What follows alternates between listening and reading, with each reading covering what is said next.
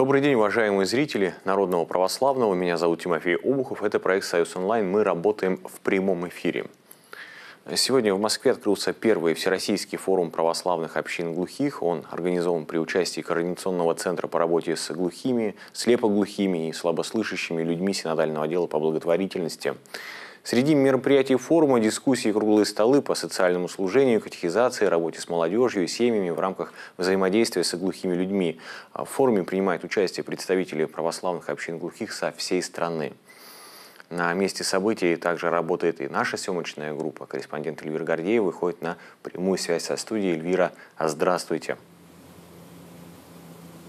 Здравствуйте, Тимофей. Добрый день, уважаемые телезрители. Скажите, пожалуйста, почему назрела необходимость собрать в столице столь представительный форум, где он проводится и как долго будет длиться?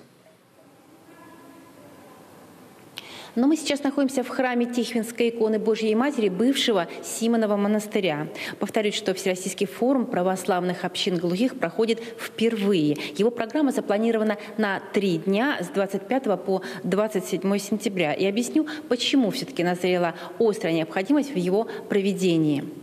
Дело в том, что за последние семь лет, э, с 2013 по 2020 годы, количество общин глухих в России возросло практически вдвое, с 40 до 75 а, что говорит о развитии церковной помощи глухим людям, ее востребованности в регионах. Однако общинам не хватает сегодня совместных мероприятий, где они могли бы поделиться опытом, получить практические знания и найти новые формы взаимодействия между священнослужителями, переводчиками жестового языка, приходскими социальными работниками и инвалидами по слуху. И данный форум как раз на это и направлен. Ну а более подробнее о мероприятиях форума, его целях и задачах нам сейчас расскажет руководитель направления помощи людям с инвалидностью Синодального отдела по благотворительности Вероника Леонтьева. Вероника, здравствуйте. Здравствуйте. Итак, расскажите, как возникла вот идея проведения вот такого обширного масштабного форума, э, всероссийского форума, как вы его собирали и кто сегодня здесь в нем участвует? А, как вы уже заметили, а, за последнее время количество общин, а, которые занимаются помощью глухим людям и где глухие люди принимают непосредственно очень активное участие, у нас существенно увеличилось. Все это благодаря благословению Святейшего Патриарха. В 2014 году при нашем отделе был создан координационный центр по работе с глухими, слабослышащими и слепоглухими людьми. И в этот центр к нам стекается вся информация, информация о тех приходов Русской Православной Церкви, которые взяли на себя такую э, нелегкую, но очень важную миссию помощи людям с нарушением слуха и с нарушением слуха и зрения. И, э, конечно, наши приходы, э, наши храмы, они говорят о том, что необходимо встречаться, необходимо общаться, необходимо обсуждать какие-то и проблемы, и, наоборот, рассказывать о своих достижениях, которые они в своих приходах осуществляют по работе с людьми с нарушениями слуха. А, поэтому э, благодаря вот такой инициативе, и в первую очередь инициативе а, храма Тихвинской иконы Божией Матери, в которой мы находимся, и где более уже около 30 лет служение глухим людям осуществляется, это первый храм в России, где вообще началось это служение. Вот а, мы объединили все усилия и, соответственно, пригласили делегатов из, из разных епархий приехать к нам сюда, в Москву, рассказать о своем опыте, послушать опыт других людей. И кто не смог приехать, к сожалению, из-за вот э, текущей ситуации, пандемии и не все смогли, кто хотел доехать до нас. Многие в последний момент уже меняли свои решения.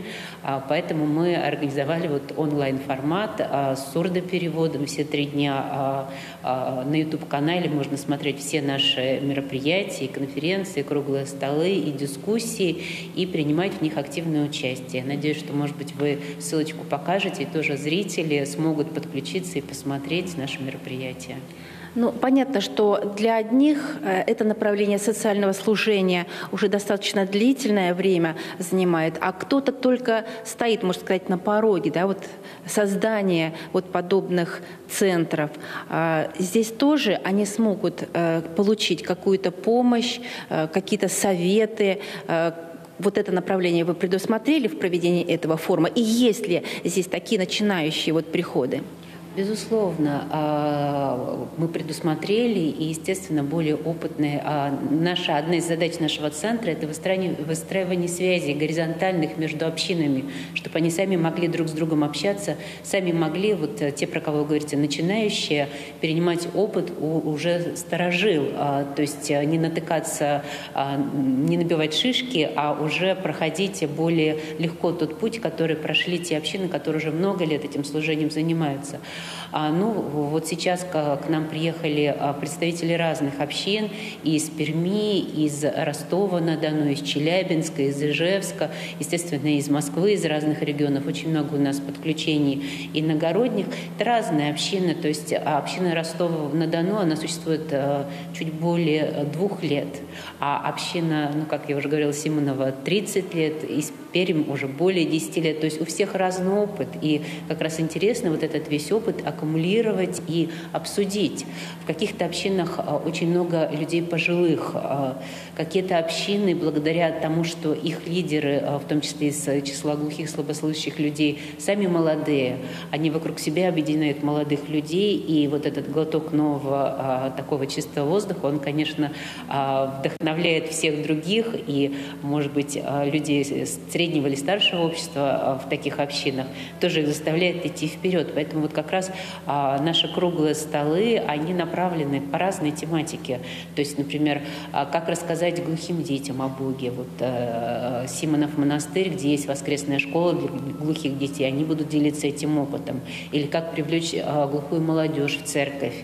Ведь не секрет, что сейчас молодежь и глухая молодежь нет, ничем не отличается. Она большинство большинство информации берет из соцсетей. И, соответственно, а, есть уже методики, есть уже а, общины, которые очень активно в этом направлении работают, создают видеоканалы, например, видеоканал «Десница», где тоже молодые активные глухие люди на жестовом языке рассказывают и о Боге, и о, о монастырях, и о православной кухне, обо всем. То есть спектр, а, вот скажем так, а, донесения до глухих людей информации о том, о православии, о его красоте, о его а, скажем так, многозначности, он безграничен, и вот люди занимаются этим, и важно, чтобы и люди глухие из других общин тоже об этом знали, тоже начинали в этом направлении действовать. А понятно, что, конечно же, в большинстве своем э, зависит очень многое от настоятеля храма, э, который берет на себя эту функцию э, сплотить вот эту общину и работать с ней. А если он, например, не знает жестового языка. Это же практически невозможно тогда проводить какие-то беседы, службы.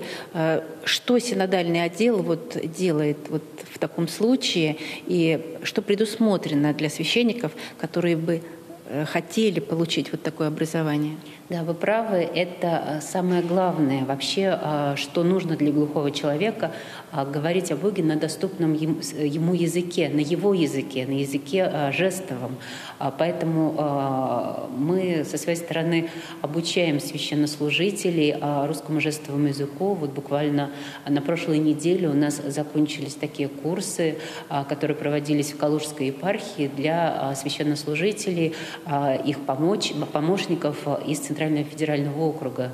Туда приехали из 12 епархий округа как раз изучать русский жестовый язык. И, в общем-то, я надеюсь, они получили много для себя нового и полезного, потому что, да, там были а, те священники, которые только хотят эту работу строить, им необходимо это как средство общения с глухими людьми. Но, кроме того, а, мы выпускаем пособия, конференции проводим. Опять же, у нас свой а, сайт есть сурдоник.ру, где очень много методического материала. То есть, со своей стороны, мы всячески работаем, мы готовы помогать тем храмам, которые такую работу хотят начать у себя. Судя по тому, что протяженность этого первого форума три дня, значит, достаточно обширный у вас был арсенал как бы подготовленных мероприятий в различных формах. Вот расскажите, что будет происходить вот сегодня, завтра, послезавтра? Ну, я, во-первых, хочу сказать, что он символично открылся сегодня. Сегодня мы празднуем день, а, всероссийский а, а, день, день глухого человека Всероссийского общества глухих. А заканчивается он в воскресенье 27 сентября. Это по традиции последнее воскресенье сентября. Это день, э, Международный день глухих, то есть от российского к международному. Ну и, конечно, да, вот сейчас в этом часу у нас как раз минута идет презентация общин глухих, то есть общины очень все хотели поделиться о том, что же они делают, и каждый подготовил небольшое выступление о, о том, о своей деятельности, как раз о тех направлениях работы, которые отличают эту общину. Конечно, не все, у нас их 75, э, но э, часть общин это сделала. А вот сегодня, как я уже говорила, будет вечером очень интересный молодежный круглый стол, а как э, привлечь глухую молодежь, вообще как с ней взаимодействовать. А в том числе это вот а, наши такие тоже а, одни из лидеров, московская община глухих а, при а, храме а, новомучеников-исповедников российских Новокосино, где есть канал э, «Десница», э, они при, привлекут в том числе и, и глухих артистов из театра мимики и жестов «Недослов». А завтра у нас а, пройдет серия а, круглых столов и дискуссий на разные темы.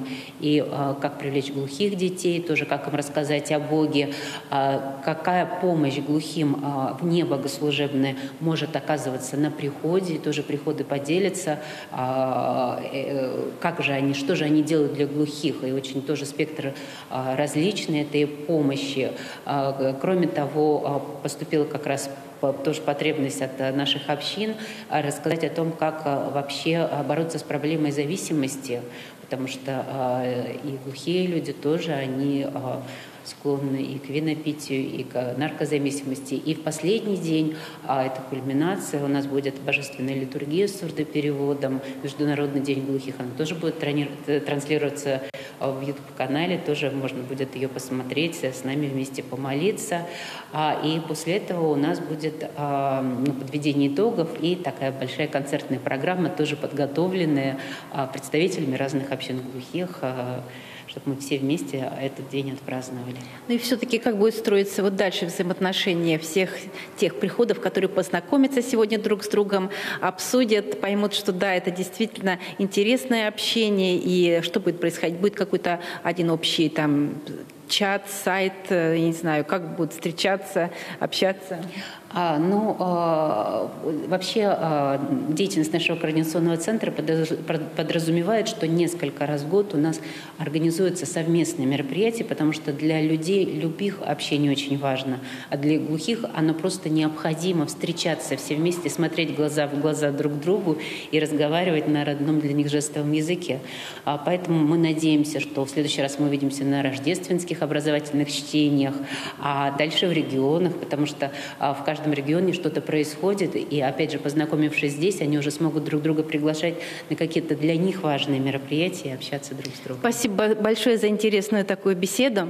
Мне остается лишь только напомнить, что действительно в заключительный день форума 27 сентября в Международный день глухих э, состоится божественная литургия с сурдопереводом на жестовый язык в храме Тихвинской иконы Божьей Матери бывшего Симонова монастыря. Напомню, что именно здесь в 1991 году была создана первая в России община инвалидов по слуху. Тимофей. Спасибо, Эльвира. Уважаемые друзья, мы благодарим вас за внимание и прощаемся до новой встречи в прямом эфире Народного Православного. Сегодня еще увидимся.